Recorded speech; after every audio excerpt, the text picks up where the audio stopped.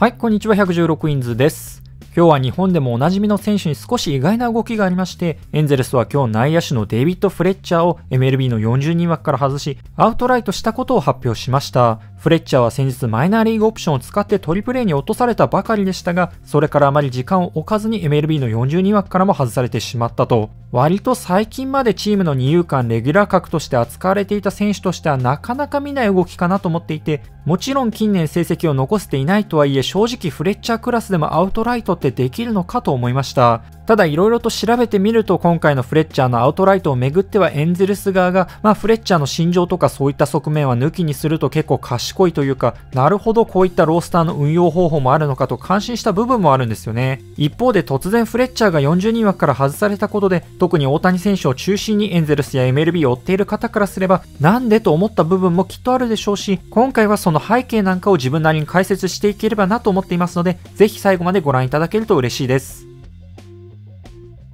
まずは現状のフレッチャーの立ち位置をおさらいしておきますが、かつてはエンゼルス二遊間のレギュラーとして高いコンタクト能力を武器に活躍し、短縮シーズンとなった2020年は打率3割1分9厘とハイアベレージをマーク。身長が175センチとメジャーリーガーとしてはかなり小柄な部類ですが、昔のエンゼルスでいうところのデイビッド・エクスタインみたいな選手と言いましょうか、泥臭く全力でプレーするスタイルはファンからも人気でしたし、エンゼルスフロントとしてもこれからフレッチャーがチームの二遊間を長く支えられる選手になると確信したんでしょうね。2021年開幕直前にエンゼルスはこのフレッチャーと5年総額2600万ドルにて契約延長。フロントとしては2020年のように高いアベレージを残しながら打線の切り込み隊長的な役割をおそらく期待していたことでしょうが、ただこの契約延長を境にフレッチャーのバッティングが急激に過去の一途をたどってしまいます。2020年時点では通算打率が2割9分2厘あったフレッチャーですが、2021年と2022年はシーズンの打率がそれぞれ2割6分2厘、2割5分5厘。コンタクト能力が急に衰えたわけでもないんですが、かつてほどにはヒットを量産できず、またそもそもとしてパワーに欠ける選手でもありますので、これではなかなか攻撃面でチームに貢献はできなかったと。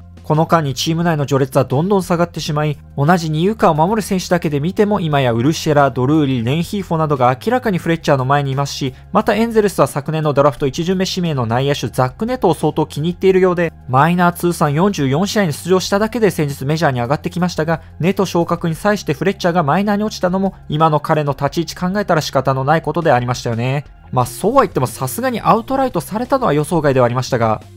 で、今回フレッチャーが受けたアウトライトという措置ですが、これは MLB の40人枠から完全に外し、選手をマイナー配属とすることを指します。フレッチャーはネット昇格に際してマイナー落ちしていますが、この時はマイナーリーグオプションを使っていましたので、MLB の公式戦に出場できる26人枠から外れたものの、支配下に当たる40人枠から外れていませんでしたが、今回のアウトライトではその40人枠からも外れてしまったと、似たような措置として DFA、Designated for Assignment があり、これも選手を MLB の40人枠から外してその後トレードやウェーバーでの他球団移籍や、あるいは獲得するチームがいなかった場合はマイナー降格のいずれかにて選手の今後をどうするか決める措置もあるんですが、DFA はその後に関係なく DFA と同時に40人枠から外れるのに対し、フレッチャーの場合はすぐに40人枠から外れたわけではなく、アウトライトウェーバーに一旦かけて、そこで他球団から獲得の申し出がなければ初めて40人枠から外すことができる措置となるため、かかる時間に少し差があります。ウェーバーで他球団が選手を獲得する場合は契約ごと引き取る必要があるため、今年も含めると残り3年総額2000万ドルも保証されるフレッチャーをわざわざ獲得したいチームがいるとは考えにくく、またエンゼルスもそこまで急いでフレッチャーを40人枠から外したかったわけではなかったようなので、今回 DFA ではなくアウトライトウェーバー経由で40人枠から外すことを選択したようですね。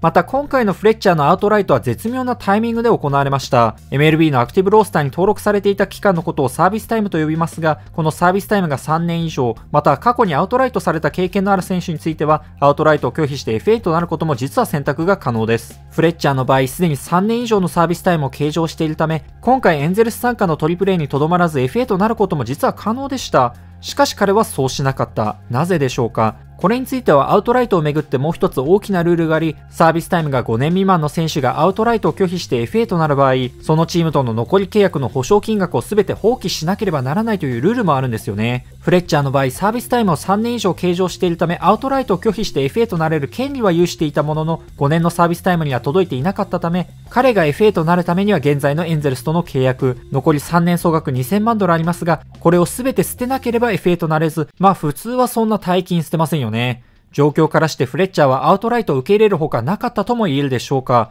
ちなみにフレッチャーはあと2ヶ月ほどでサービスタイム5年に到達していたため、本当にギリギリのところでエンゼルスは彼のアウトライトに踏み切ったことにもなるんですよね。サービスタイムが5年を超えるとアウトライトを拒否して FA になっても、残りの契約は全額保証されるため、最悪他球団でプレーするフレッチャーに対してエンゼルスは年俸を払い続ける事態にもなりかねなかったわけです。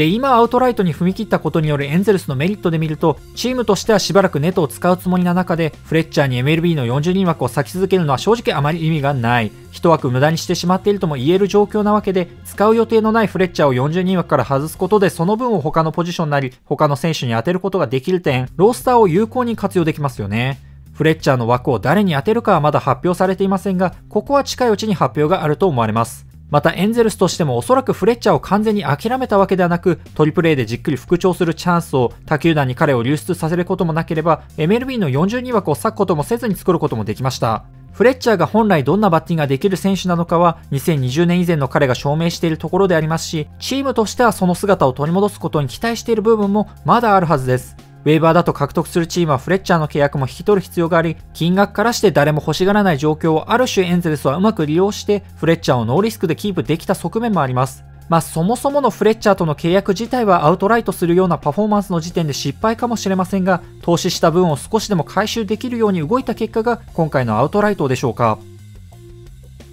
一方で当然ながらフレッチャーからすれば最悪のタイミングでのアウトライトではありますけどね。サービスタイムがあと2ヶ月ほど足りなかったばかりにアウトライトを受け入れるほかなかったわけですし、早めに長期契約を結んだことがある種足かせとなってしまった側面もあります。フレッチャーが今後トリプレイで活躍すれば再びメジャー昇格の可能性はあるでしょうが、その際には再度40人枠に登録される必要があり、可能性はゼロとは言いませんが、40人枠に入っている選手と比べれば優先度は下がってしまうため、再昇格には相当なアピールが必要となってくるでしょうか。エンゼルス内野陣に怪我人が続出するみたいな非常事態が起きない限り、フレッチャーがすぐに再昇格する展開は今のところちょっと考えにくく、彼にとってはしばらく厳しい状況が続きそうですが、かつて見せたようなヒットメーカーぶりを取り戻すことはできるでしょうかということで今回の動画は以上としたいと思います。今後もですね、メールに関する動画を上げていきますので、興味のある方ぜひチャンネル登録していただけると幸いです。それではご視聴ありがとうございました。